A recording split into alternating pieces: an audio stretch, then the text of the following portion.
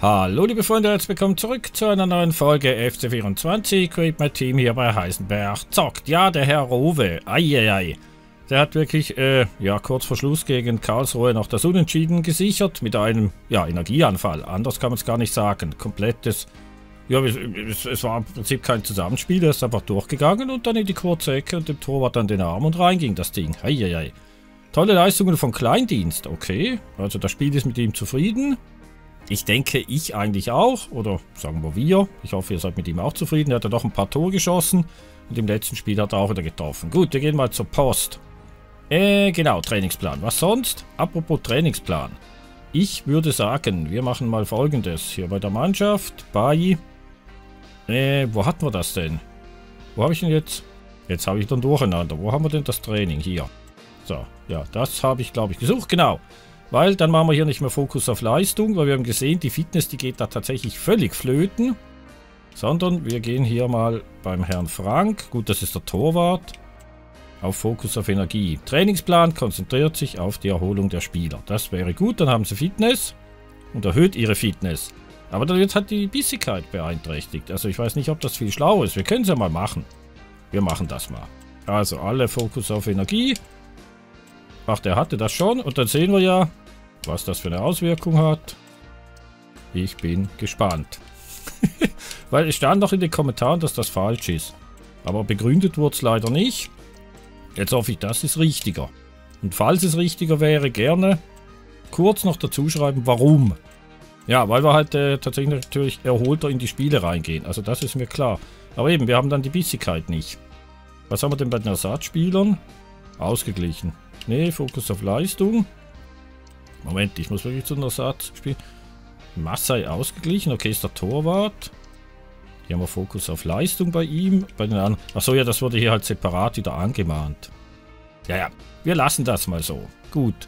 Gehen wir zurück. Weiter. Zentrale. Was ist das nächste Spiel? Gegen Lautern. Eieiei. Okay, das wird natürlich auch wieder ein hartes Stück Arbeit. Hier sehen wir, Hertha hat immer noch nicht gespielt. Da gehen wir weiter. Und gucken, jetzt sind die Ziele gefährdet. Ja, sag mal. Warum sind denn Ui, da kommt einiges daher. Ja, gehen wir mal gucken. Scouting. Sehr schön. Mal schauen, ob wir Leute... Oh, ja, wir haben Leute. Äh, ja, wollen wir verpflichten? Oh, 294er. Sag mal, jetzt geht's aber los hier. Da können wir die 88er eigentlich in Ruhe lassen. Gut. Oh, das sind wieder zwei sehr gute Junioren. Nochmal ein Scouting-Bericht. Nochmal ein 94er. Ernst, ja. Ernsthaft jetzt. Ja, gerne. Logisch. Zack, den hier. Dann haben wir hier Spielerchat. Ich bin in letzter Zeit sehr gut in Form. Ja, der möchte immer spielen. Das ist eigentlich schön, der ist ehrgeizig, aber es kann natürlich auch nerven. Äh, wir denken mal drüber nach, würde ich sagen. Gut, dann können wir zurück. Dann sind wir bereits beim Spieltag. Wollte ich sonst noch was machen? Irgendwas Wichtiges? Eigentlich nicht. Doch schnell im Büro gucken. Äh, da geht das Geld halt schon runter. Äh, okay. 53.000 Wochenbudget ist natürlich ein bisschen wenig, wenn man bedenkt, dass allein der Herr Corona irgendwie 20.000 kostet pro Woche an Lohn. Aber dann ist es halt. Gut, wir gehen rein, würde ich vor. Oder nee, wir schauen noch schnell nochmal. Uh, Lautern hier tatsächlich auf der 5. Äh, auch mit weniger Spielen. Okay. Haben jetzt alle anderen schon ein Spiel und wir haben es noch nicht. Ja, guck mal, jetzt hängen wir hinterher mit dem Spiel. Okay, das heißt für uns, jetzt sind wir auf der 4. Ja, die Hertha hat uns überholt. Okay, können wir aber korrigieren natürlich, wenn wir die Lauter schlagen. Die Lauter können uns aber bis auf einen Punkt, ja, auf den Hals rücken. Okay, gut. Wir müssen einfach das Spiel gewinnen. Ist eigentlich eine relativ einfache Geschichte.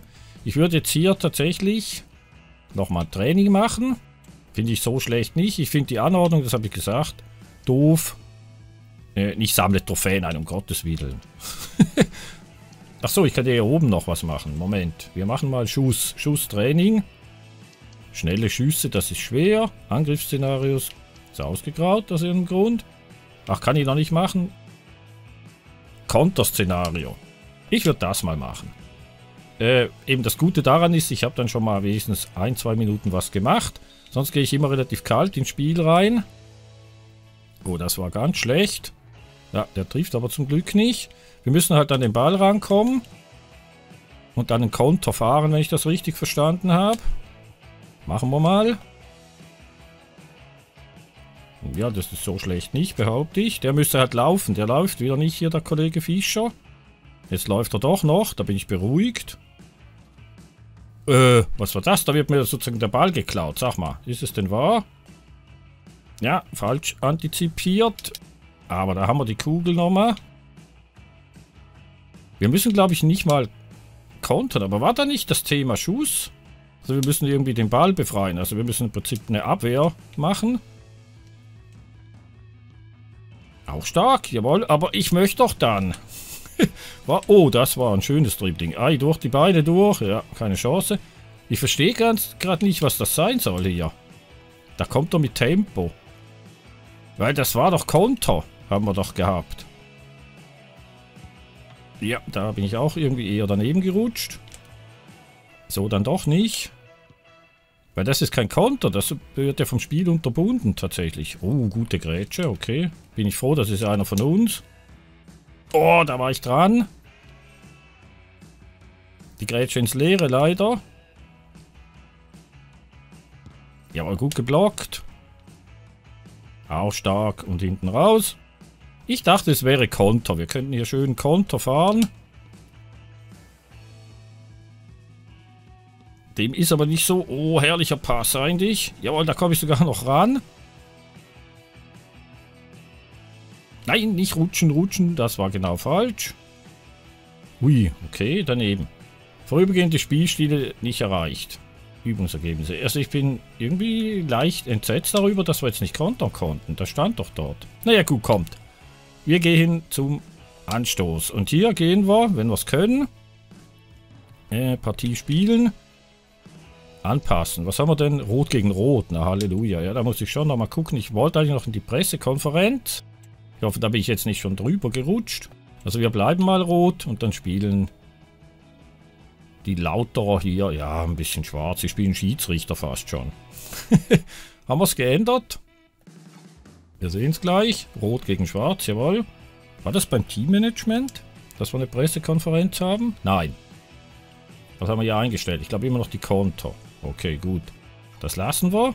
Wenn ich hier auf Partie spielen gehe, dann kommt die Partie rein. Sehe ich das richtig? Ich glaube schon. Wo war denn die Pressekonferenz? Oder ist die tatsächlich doch nicht bei jedem Spiel? Das war ja in der 23er Version auch nicht so dass man da tatsächlich dann vor jedem Spiel eine äh, Pressekonferenz hatte. Das ist halt praktisch, um die Moral hochzukriegen, ist ganz klar. Oh, da haben wir wieder Ausschnitte aus der Simulation. Nee, doch. Doch, doch. Mal gucken, wer ein Tor schießt. Nee, ist doch nicht Simulation, das ist einfach der ganz normale Anfang. Oder doch nicht?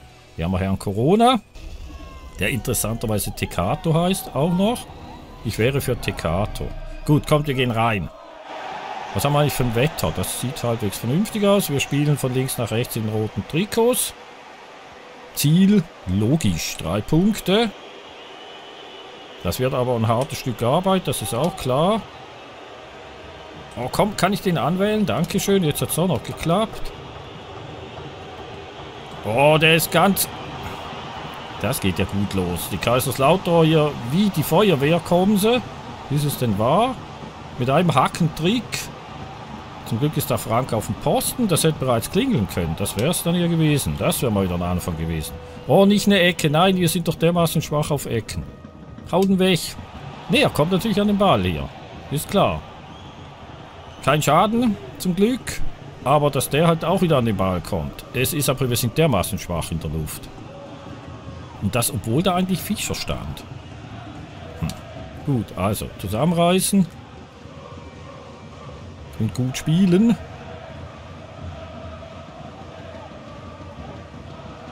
Jo, das wäre fast ein Foul geworden. Lauf, Ganzen. Oh, schade, wenn da Kleindienst an den Ball gekommen wäre. Wir sind halt wieder bei hätte, hätte, Fahrradkette wäre. Drei Leute lässt er da stehen. Nein, nicht rutschen, rutschen. Oh, gut gemacht. Allerdings gut gemacht von Lund ebenfalls. Jawohl, Seite wechseln. Sowas gefällt mir immer sehr gut. Oh, gut hier auf Becker. Auch stark. Jawohl, auch stark. Komm, Herr Kleindienst. Stark. Nochmal stark. Nein, da ist ein Fuß im Weg. Oh, schade. Und dann der Ball tatsächlich hier von Kaiserslautern halt wirklich sehr genau. Das ist auch ein bisschen lästig.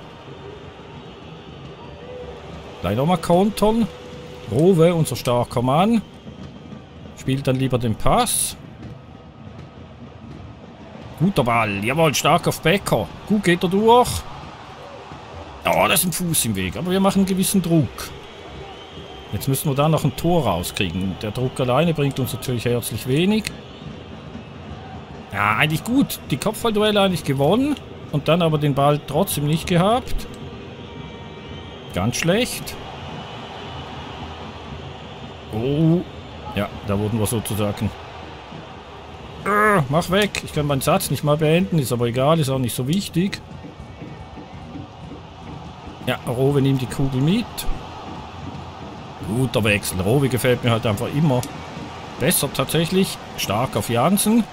Oh, schön zwischendurch. Herr Becker, laufen Sie. Jawohl. Einfach über den Flügel und der Herr Kleindienst steht, wo er stehen muss und macht das Ding. Sehr gut, aber die Vorarbeit ganz klar von Becker. Gut gemacht da draußen. Kleindienst, ja, er ist halt schon Torschütze vom Dienst. Er hat dann auch mal ein, zwei Spiele, wo er halt nicht trifft. Mein Gott, das ist das Los jeden Torjägers. Das kann passieren. Gut von Becker hier tatsächlich. Ganz weit an die Linie. Und dann der passt auch noch im richtigen Moment, so dass Kleindienst doch noch Zeit hat, wie heißt so schön, den Ball zu verarbeiten. Ja, da kann er sich halt die Ecke aussuchen. Das ist natürlich für einen Torwart ein bisschen Käse. Wenn da der Stürmer so dasteht. Gut, 1-0. Wir gehen mal wieder in Führung. Das ist immer ein bisschen hin und her. Einmal gehen wir in Führung. Wir haben jetzt aber auch ein paar Spiele gehabt, wo wir halt tatsächlich Probleme hatten.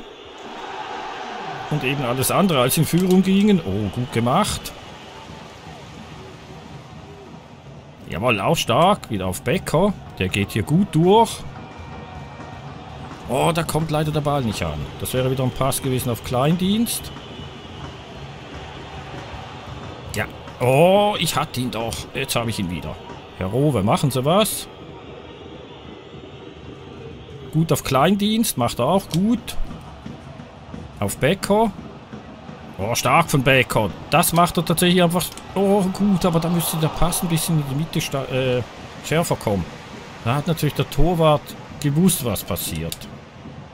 Gut, von Kleindienst, der hinten aushilft.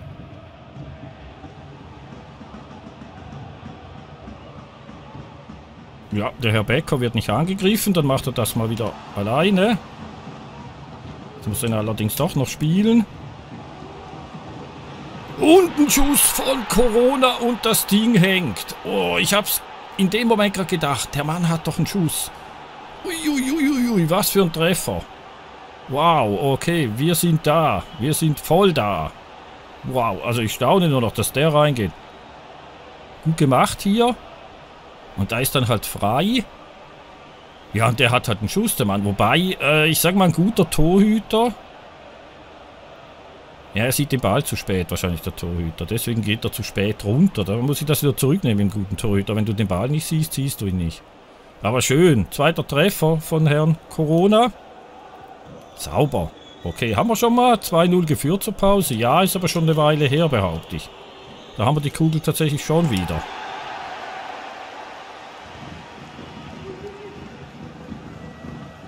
Oh, schön gemacht. Jo, fast, fast, fast das zweite Tor von Corona. Oh, auch schön gespielt. Direkt das Ganze. Kurz vor der Pause, Wiederholung gibt es leider keine.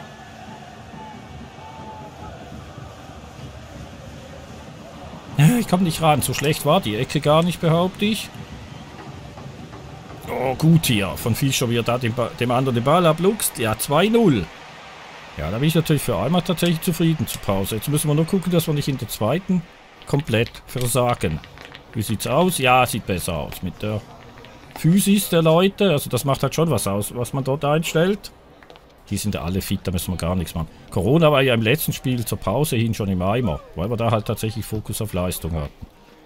Ja, dann lassen wir das. Ich sehe da keine Not zu wechseln. Ich sehe da eher Not, vielleicht das dritte Tor anzustreben, damit wir endgültig Ruhe haben.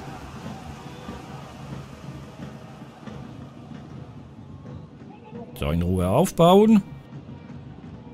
Machen wir auch. Rowe da mit dem Energieanfall. Und einer schlechten Flanke, genau auf den Torwart. Das sollte nicht passieren. Bei einem Rowe schon gerade gar nicht. Oh, aber das gefällt mir. Jetzt gewinnen wir tatsächlich auch mal ein, ein Kopfballduell.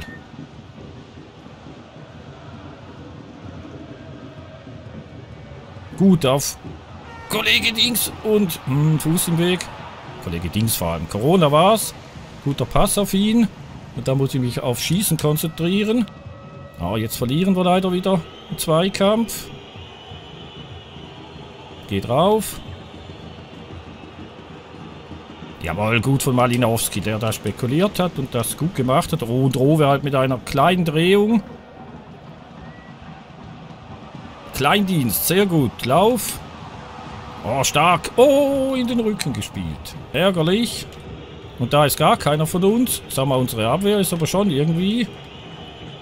Jetzt kommen sie hier daher mit Tempo. Das ist immer gefährlich. Komm, haben wir. Jawohl, gut. Nein, nicht wieder dem zurückgeben. Das war natürlich Mist. Ja, aber das ist da gar kein Problem für Frank. Da muss er nicht mal irgendwie auf dem Boden. Spiel Jawohl, gut gemacht. Jawohl, Corona mit dem Seitenwechsel. Kein Abseits. Der Herr Becker. Oh, stark. Lauf nochmal einen Schritt. Oh, da ist wieder ein Fuß im Weg. Aber schöner Angriff. Da wird auch gleich gerutscht und wir haben die Kugel wieder. Ja, wir spielen gut. Also jetzt gefällt es mir. Wir spielen viel besser wie auch schon. Ja, faul. Doch, faul. Wir sollen wechseln. Becker, Köhler lassen wir. Becker darf gerne durchspielen. War es ein Foul? Doch, war ein Foul. Ja, wir hauen den einfach mal irgendwie so plus minus zum Fünfer, würde ich sagen, wenn ich es hinkriege. Keine Ahnung. Ja, halt. Das war auch nichts. So, wir haben aber die Kugel nochmal. Oh, nochmal Rowe. Und Rowe halt mit Tempo. Geht er hier durch. Ja, da muss schärfer der Schuss kommen. Oh, und dann der Nachschuss. Ay, das ist mit zu wenig Wille. Irgendwie mit zu wenig Wille. Gibt's doch nicht. Rowe Köhler lassen wir auch. Ich möchte tatsächlich jetzt hier nicht uns schwächen. Es steht, ja, 2-0. Es steht nur 2-0. Das dürfen wir nicht vergessen.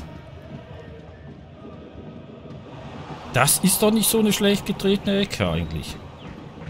Kommt sehr Becker, gut gemacht. Da wird er wieder nicht angegriffen, deswegen geht er da mal durch. Auch stark hier auf Malinowski. Oh, stark von Malinowski. Jawohl, das war schön rausgespielt. Und Corona macht sein zweites Tor. Hui, plötzlich läuft. Es gibt halt so Tage, ja, da geht gar nichts. Kennen wir auch. Und dann gibt es Tage, ja, da läuft es wie am Schnürchen. Das haben wir jetzt gerade. Sehr schön. Nicht mehr allzu schwer für den Kollegen hier. Und das 3 zu 0 ist dann doch eine gewisse Sicherheit. Da würde ich tatsächlich dann doch folgendes machen. Corona eine Pause gönnen, Haas rein. Fischer eine Pause gönnen, Schröder rein. Jansen eine Pause gönnen, Nishimura, dann muss er nicht, dann kann, muss er nicht mehr die ganze Zeit reklamieren. Und für den Herrn Becker kommt noch der Herr Köhler. Vier Wechsel. Ich hoffe trotzdem, dass das irgendwie jetzt noch bei dem 3-0 bleibt oder wir eher ein viertes Schießen als eins kriegen. Mal gucken. Ist natürlich eine Qualitätseinbuße, die wir hier haben. Das ist ganz klar. Boah, Fasnacht, Fasnacht sage ich schon. Nee, Fasnacht haben wir nicht. Oh, da fällt mir ein, ich wollte eigentlich auf der Transferliste mal noch nach Herrn Ziggy gucken. Von wegen Torwart. Das dürft ihr gerne in die Kommentare schreiben, falls ich das vergesse. Ui, schwach. Ich muss sagen, ich bin, also ich bin tatsächlich ein bisschen enttäuscht von der Leistung von Kaiserslautern. Die sind ja doch weit oben. Aber was wir hier jetzt sehen... Gut, man kann natürlich auch sagen, wir spielen halt stark. Herr Rowe wieder mit einem Energieanfall. Geht hier einfach mal durch. Oh, wie stark er das macht. Ja, jetzt muss er irgendwann mal abspielen. Macht er dann tatsächlich auch. Haas. Da ist ein Fuß im Weg. Haas setzt nochmal nach. Oh, fast. Geh einer drauf. Lass die hier nicht im Mittelfeld rumspielen. Oh, daneben gegrätscht. Ungefährlich. Oh, da ist aber Lund halt. Wieder mit Wille. Sehr gut. Wir sollen nochmal wechseln. Frank Müller. Machen wir auch mal noch. So, jetzt haben wir wirklich die halbe Mannschaft ausgetauscht. Können uns aber bei einem 3-0, denke ich, auch mal leisten, dass die auch mal spielen und unsere Hauptakteure... Ah, eine Ecke. Ja, klar doch. Eieiei, das war schon wieder kompletter Käse. Hau den weg. Sehr gut. Also manchmal muss der Ball einfach auch weg und da müssen die Stürmer halt wach sein. Oh, der macht hier Ballerina. Und verliert die Kugel nicht. Der Kleindienst ist hier hinten auch zugange. Jawohl, gute Grätsche von Haas. Spiel ihn. Und dann ist das Ding durch. Ja, ich würde sagen diskussionslos. 3 zu 0. Wir waren sicher die bessere Mannschaft heute. Von Kaiserslautern bin ich enttäuscht. Von uns, ich würde sagen, das war sicher eins der besseren Spiele. Ganz klar. 3-0 gegen Lautern musste er erstmal hinkriegen. Wie gesagt, die sind nicht irgendwie unten in der Tabelle, die sind ja relativ weit oben. Alle zufrieden, sehr schön, die Zuschauer zufrieden. Ja, Kleindienst zufrieden, hat ein Tor geschossen. Ja, und unser Herr Corona hat gleich mal zwei Tore geschossen. Der wird auch noch zum Goalgetter hier. Irgendwie, ich bin überzeugt. Habt ihr, ist euch das schon mal aufgefallen? Jedes Mal, wenn ich hier klicke und wir dann hier landen, dann hast du für eine Hundertstelsekunde so ein Bild aus dem Spiel.